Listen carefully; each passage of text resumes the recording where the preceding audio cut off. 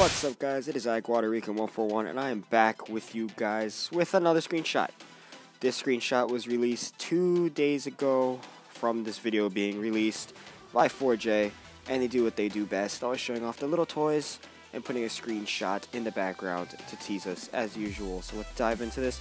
If you zoom into the bottom left corner, you can see this is Xbox One version, which is always awesome. And if we zoom into the middle, we can go over the main features if you see highlighted right there, well, not if, you, you can see what's highlighted there is a block of coal and this also means that we can store things on the side of donkeys. I don't know if you can see there's a chest on the side of the donkeys. And you can also see in your inventory there is name tags, lassos, I don't know exactly what they're called. And um, yeah, those are really the big, big, you know, features in this screenshot. But uh, yeah, it's pretty cool that they're bringing little things little by little in each screenshot and not leaving us very long without any info.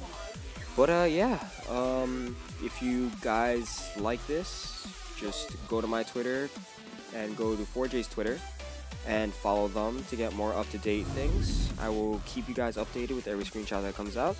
And uh, until next time, guys, this is Guadalupe 141 saying march on. See you guys later.